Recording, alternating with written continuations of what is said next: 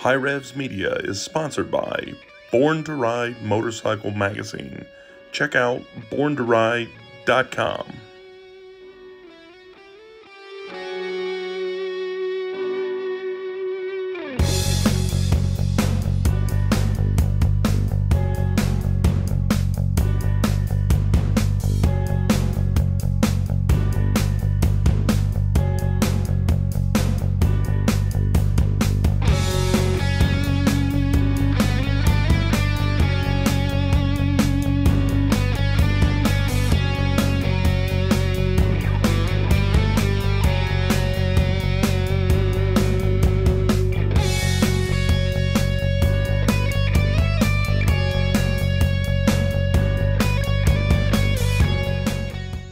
All right, guys, working on the camper. Working on this awning from the aftermath of that last time camping in the storm. I'm taking these off. Those are 10 millimeter. And uh, both sides are broken.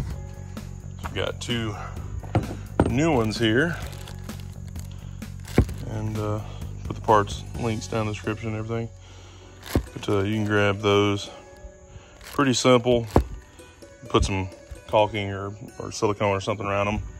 Make sure that uh, everything's nice and sealed. And we'll go ahead and put some on these bolts. I don't actually see any on the bolts here, but they laid on the ceiling up there. So uh, we'll add a little bit, see if we can get that figured out. All right, guys, so there's the broken one. Here's the new one. Bolts that came in there. They obviously uh, completely fine. Um, and I don't have any white silicone, so we'll just use this black just to put some on the bolts.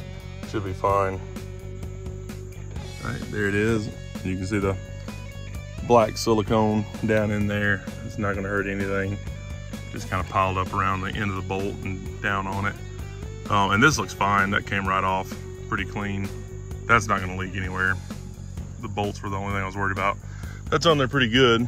The other side over here, this part. That's where it just kind of snapped off of there. You see where it kind of matches that. This new one actually seems a little more heavy duty than uh, the original.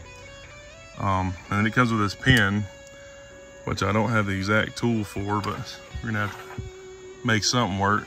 But now I gotta figure out how to get this pin out of here and drill it off or something. Let's cut that down and get to it. All right, guys, so we got the poles for the back pop out of the camper and it feels like you're like it, it looks flat but it, it, when you lay on it it feels like it's laying down like you're about to roll out of it or things about to drop. And on one of these it's crimped a tiny bit like it slipped out at one point in time but it, it seems stable. But just to make it mo better we're gonna add in some steel pipe. We got some stainless steel rod. We're gonna feed inside this and inside this and then weld them all together. So this is gonna bring it up a little bit. And if it's too long, we can always trim it off, but I think it's gonna be about right to get us nice and level or even kicked in just a little bit. And it's gonna make it super strong down there where the base is. So I think it'll be pretty good.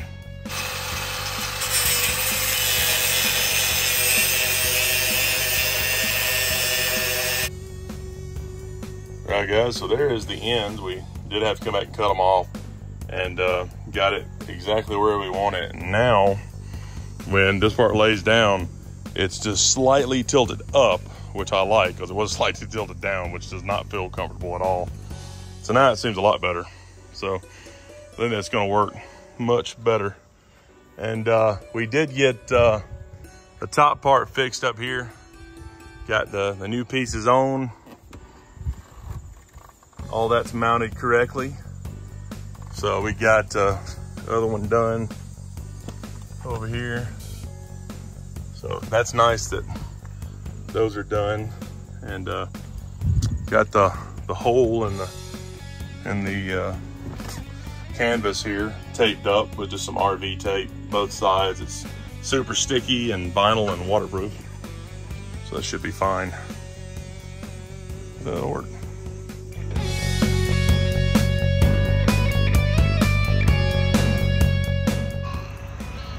All right, guys, here we are at Jenny's Creek Family Campground in Cleveland, Georgia. And uh, we're at spot 44. And we are right on the creek, which is pretty neat. I mean, it's just right here. And uh, the people here are awesome, super nice. The little store they have up there is fantastic. The prices are super cheap. Um, other places we've been to, it's just been crazy expensive out of convenience. They charge you a whole bunch of money, but here it's uh, they're not trying to screw you over or nothing. So it's kind of nice. Um, spots are real nice. Everything works. Power, water. This one doesn't have full hookup because we're right next to the creek, but uh, overall, it's a really good spot.